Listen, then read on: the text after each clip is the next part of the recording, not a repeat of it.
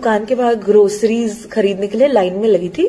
एक अंकल मिले प्यारे से, कहते, खामखा की नेगेटिविटी जनता और मीडिया फैला रहे हैं। बेफिजूल की नेगेटिविटी है। मैंने कहा अंकल नेगेटिविटी नहीं है तो देश की सच्चाई है। तो नाराज़ हो गए झेप गए। अब ऐसे लोगों की मानसिकता को सलाम करते हुए उन्हीं का माइंडसेट चंद लाइनों में पेश करना चाहूँगी। कहते नेगेटिविटी मत फैलाओ यार। ऑक्सीजन नहीं मिल रही तो पेड़ लगाओ ना यार। पर तुम नेगेटिविटी मत फैलाओ यार। अब भला ये रेमडेसिविर क्या होती है? बीमारी से बचने के लिए बचपन से च्यवनप्राश खाओ ना यार। पर तुम ये नेगेटिविटी मत फैलाओ यार। क्या हुआ अगर अस्पताल में बेड्स नहीं मिल रहे? घर पर ही उल्टे लेट जाओ ना यार। तो तुम ये नेगेटिविटी मत फैलाओ यार।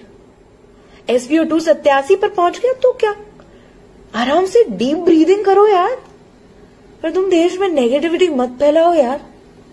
डॉक्टर नहीं है तो क्या हुआ? घरेलू नुस्खे व्हाट्सएप अपनाओ यार। नेगेटिविटी मत फैलाओ यार। जब एंटरटेनमेंट के लिए तुम्हारे क्रिकेट चल रहा है तो न्यूज़ देखकर क्या करना है यार? इतनी ज़्यादा नेगेटिविटी मत फैलाओ यार।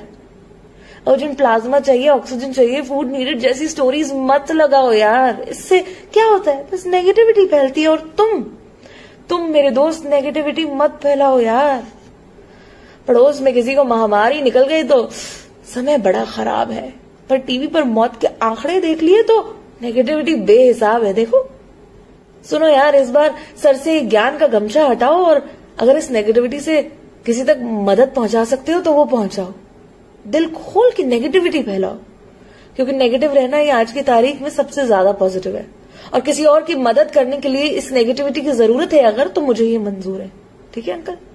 ये विचार साझा किए लिखा है मेरे दोस्त ऋषभ ने।